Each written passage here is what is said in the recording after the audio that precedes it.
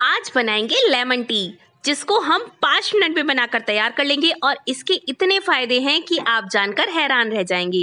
तो hello friends, welcome to food junction by Neha. आइए बनाते हैं लेमन टी। तो यहाँ मैंने गैस पर एक पैन रख लिया है और इसमें हम ऐड करेंगे दो कप पानी। यहाँ मैं एक कप लेमन टी बना रही हूँ, इसलिए मैंने दोगुना पानी यूज़ करा है। इसमें ऐड करेंगे एक चम्मच पत्ती। अगर आपको पत्ती थोड़ी लाइट पसंद है तो आप पत्ती कम भी डाल सकते हैं। इसको हल्का सा मिक्स कर लेंगे और इसे तब तक बॉईल करना है जब तक पानी आधा न रह जाए।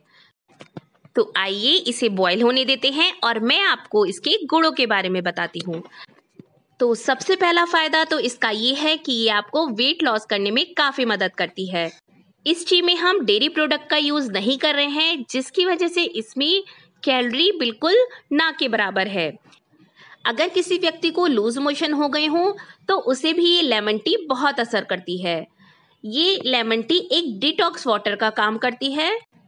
तो इसे पीने से आपके स्किन रिलेटेड प्रॉब्लम या फिर फेस पे अगर दाने हो रहे हों तो उन्हें भी काफ़ी हद तक ठीक करती है। देखिए, चाय अच्छे से बॉईल हो गई है और आइए अब इसे छान लेते हैं। तो इसे पहले मैं एक ग्लास में छान लेती हूँ देखिए, चाय छान ली है और इसका कलर कितना सुंदर लग रहा है। चलिए, अब एक कप ले लेते हैं और इसे तैयार कर लेते हैं।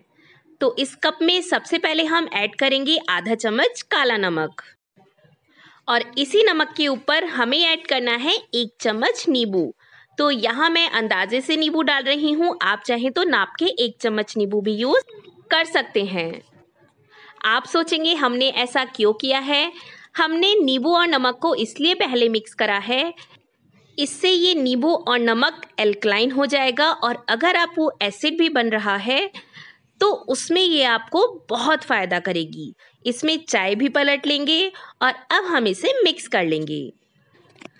जैसे ही आप इसे मिक्स करेंगे, आप देखेंगे चाय का कलर पहले से लाइट हो गया है और ये नींबू और नमक की वजह से हुआ है। तो देखिए, तैयार है हमारी लेमन टी, जो कि स्वादिष्ट भी है और बहुत हेल्दी भी है। तो इतने सारे गुणों से भरपूर इस लेमन टी को आप भी ज़रूर ट्राई करें। और मुझे बताएँ कि आपको ये लेमन टी कैसी लगी।